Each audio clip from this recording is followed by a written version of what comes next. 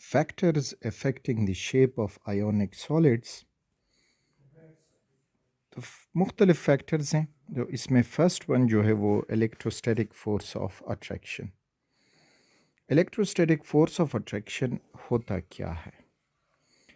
Ionic solid تب بنے گا جب ایک ایٹم الیکٹران لوز کر کے کیٹائن ہو جائے گا ہیونگ اے پازیٹیو چارج اور دوسرا ایٹم وہ الیکٹران گین کر کے نائن ہو جائے گا having a negative charge these are static charges اور اب ان میں جو اٹریکشن ہے یا اٹریکٹیو فورس ہے this is known as electrostatic force of attraction یہ جو الیکٹروسٹیٹک فورس آف اٹریکشن ہے it is this force is directly proportional to the quantity product of the quantity of the charges that is q positive charge on cation and q negative charge on anion and inversely related to the square of distance between them, that is r square. Square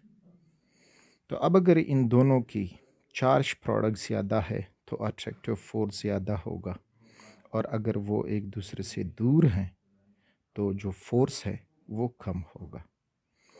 تو یہ force ان کو پکڑے رکھتا ہے اور وہ force پھر ہم اس کو کہتے ہیں lattice energy that is lattice energy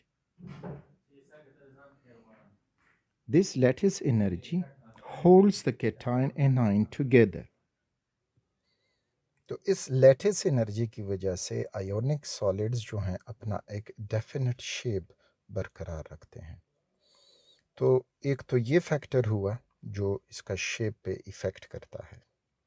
next جو ہے وہ ہمارے پاس آتا ہے radius ratio first of all radius ratio کو سمجھتے ہیں اور پھر اس کو دیکھتے ہیں۔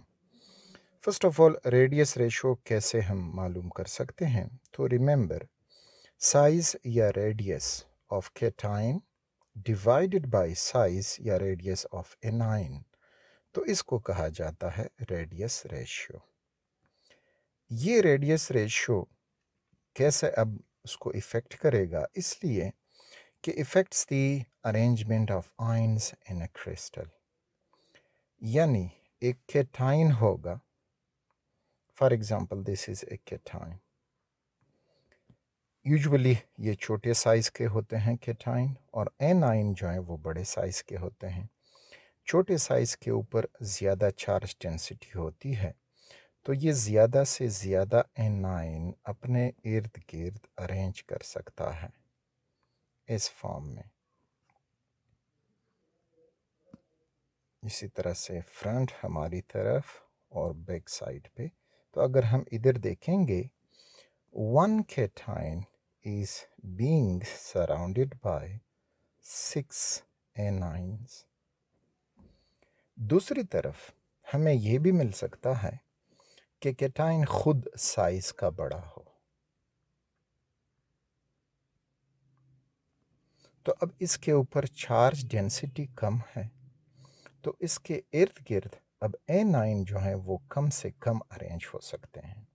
تو وہ ہمیں فار ایگزامپل اس کے ارد گرد یہ anion anion anion and anion تو اس طرح سے اس کے ارد گرد اب چار اینائن ارینج ہو سکتے ہیں. یہ اس لیے کہ اگر یہاں پہ اینائن مزید قریب آئیں گے تو ان میں ریپلشن کریٹ ہوگی. تو اس ریپلشن کو منیمم رکھنے کے لیے وہ اپنے ڈسٹنس کو بڑھائیں گے. یہاں پہ چونکہ پازیٹیو جو کیٹائن ہے، اس کے اوپر چارج زیادہ ہے۔ تو این نائن قریب آتے ہیں because of the attraction of the positive cation اور ان میں اپنا ریپلشن جو ہے وہ کم سے کم ہو جاتا ہے۔ تو اس کو دیکھنے کے لیے کہ کس کیٹائن کے ارد گرد زیادہ اینائنس ارینج ہوں گے، کس کے ارد گرد کم اینائن ارینج ہوں گے۔ تو ہم سمپلی ریڈیس ریشو معلوم کر دیتے ہیں۔ ریڈیس ریشو معلوم کرنے کے بعد ہمیں کیا ملے گا؟ تو remember radius ratio this is radius ratio. Radius ratio is directly proportional to coordination number coordination number coordination number کیا ہوتا ہے number of anions surrounded cation یا نمبر آف اینائن کتنے ایک کیٹائن کے ارد گرد کتنے اینائن ہوں گے that is the radius coordination number تو ریڈیس ریشو اگر زیادہ ہے تو مینس کی کوڈینیشن نمبر زیادہ ہوگا زیادہ اینائن ارد گرد جو ہیں وہ پائے جا سکتے ہیں۔ اس ایک ایگزامپل کو اپلائی کرتے ہیں سوڈیم کلورائڈ کے کرسٹل پہ۔ تو یہاں پہ اب اگر ہم سوڈیم کلورائڈ کا ایگزامپل لیں تو سوڈیم کیٹائن کا جو ریڈیس ہے that is point nine five picometre اور کلورائڈ جو ہے one point eight one picometre تو radius ratio cation divided by anion So cation is 0.95 divided by 1.81 equals 0.54 تو ریشیو ہے this is why it has no unit تو یہ 0.54 اور x ray crystallography سے جب دیکھا جاتا ہے تو سوڈیم کلورائڈ کا جو کوڈینیشن نمبر ہے اس کا کوآڈینیشن نمبر وہ بن جاتا ہے سکس اس کا مطلب کیا ہوگا اس کا مطلب یہ ہے کہ one sodium ion this is sodium cation.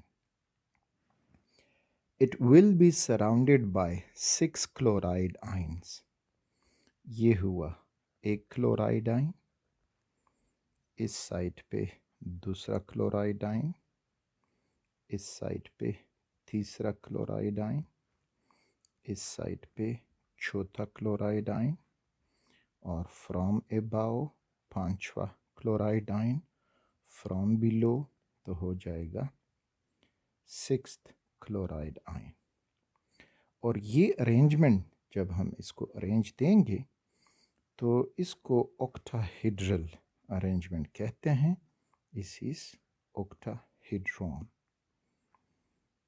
right so it is octahedral arrangement. یا octahedral geometry of the cations یا of the sodium chloride crystal اب ایک ٹیبل میں کچھ ریڈیس ریشو اور جو کورسپونڈنگ کرسٹل سٹرکچر ہوگا یا ارینجمنٹ ہوگا، تو آپ کو اس ٹیبل میں آپ مل سکتے ہیں۔ یہاں پہ دیکھیں فرسٹ کالم میں کہ اگر radius ratio less than point one five five ہو تو کوآرڈینیشن نمبر ٹو ہوگا مینس کہ جو کیٹائن ہے دس از دیٹ کیٹائن تو cation will be surrounded by that is cation so it will be surrounded by two anions جس like this اور کہتے ہیں کہ یہ انسٹیبل ارینجمنٹ ہے اور اس کو ہم لینئر کہیں گے ایگزامپل میں کوئی ایگزامپل اس کا موجود نہیں ہے۔ یہ وہ ایکس رے کرسٹلوگرافی سے جب کور کر جاتے ہیں تو پھر ایگزامپل بھی دیکھا جاتا ہے۔ اگر یہ ریڈیس ریشیو جو ہے پوائنٹ ون فائیو سے لے کر پوائنٹ ٹو ٹو فائیو تک ہو، تو یہ کوڈینیشن نمبر تھری ہوگا اور یہ بھی ایک انسٹیبل ارینجمنٹ ہوگا کیونکہ ان میں جو اٹریکٹیو فورس ہے وہ اتنا اسٹرانگ نہیں ہوگا اور اس کا جو شیپ بنے گا that is trigonal planar تو ٹری گونل پلینر مینس کہ یہ کیٹائن ہے اور ون ٹوینٹی اینگل پہ جو اینائنس ہیں وہ ارینج ہوئے ہوں گے کچھ اس فارم میں۔ سو دس از ٹریگونل پلینر یا ٹرائیگونل پلینر ارینجمنٹ اس کا ایگزامپل جو ہے وہ B two O three diboron trioxide دیا گیا ہے۔ اینڈ سملرلی اگر radius ratio point two two five سے پوائنٹ فور ون فور تو کوڈینیشن نمبر پھر فور ہوگا تو وہ ایک اسٹیبل ہے۔ اس کو ٹیٹراہیڈرل یعنی زنک سلفائڈ اور کاپر جو کلورائڈ ہے تو یہ اس کے ایگزامپلس ہیں۔ اسی طرح سے آپ دوسرے کالم میں دیکھ سکتے ہیں کہ پوائنٹ فور ون فور سے پوائنٹ سیون تھری تو سکس کوآڈینیشن نمبر ہوگا اوکٹاہیڈرل سوڈیم کلورائڈ کو ہم نے ڈسکس کیا میگنیشیم آکسائڈ ہو گیا ہے۔ اور اسی طرح سے point seven three two one two up to one تو یہ ایٹ اسٹیبل ہیں۔ کوارڈینیشن نمبر اس کا ایٹ ہوگا۔ اور وہ cubic and that is caesium chloride جو ہمیں ملے گا۔